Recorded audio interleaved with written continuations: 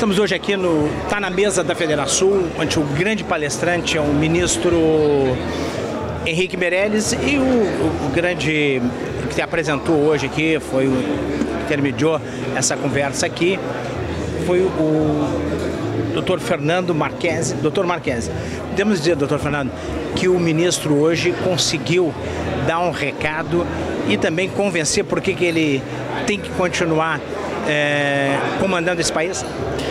O, acho que sim, ele passou claramente o que, que ele fez durante esse período como ministro. De fato, o ingresso do, do, do, do, do Meirelles como ministro marcou a retomada da, da, da do, do, eu diria assim, da, da confiança. Né? A, a, o momento que ele assumiu a, o ministério, uh, se teve uma, uma, uma retomada de de credibilidade que a confiança poderia ser, ser, ser, alcançada novamente. Os diversos indicadores mostram isso. E de fato, com todas as medidas que ele mostrou aqui, as coisas vieram melhorando. Obviamente tem um grande caminho a se percorrer, mas ele foi o bastião dessa mudança, né? E ganhou credibilidade disso. Foi o protagonista disso, né?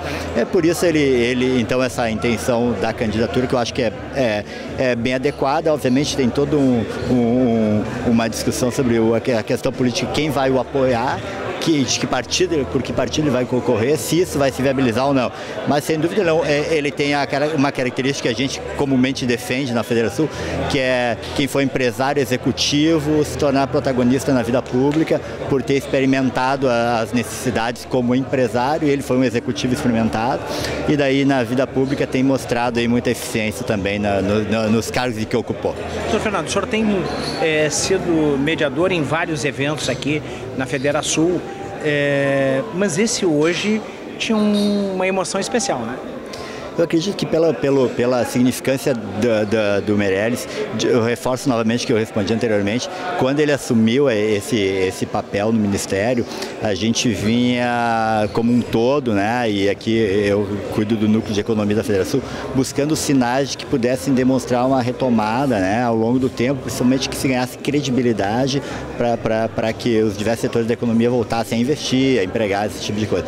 Ele significou esse sinal por ele ter trazido uma equipe é, de, de primeiríssima, ele, for, ele formou um time de fato, exatamente, formou um ótimo time, exato, uma seleção, formou um time inquestionável, ele mesmo representa isso, ele sinalizou, eu vou fazer o que tiver que ser feito para controlar a inflação e, e encaminhar as reformas, isso vai voltar a trazer é, crescimento, permitir que a taxa de juros caia.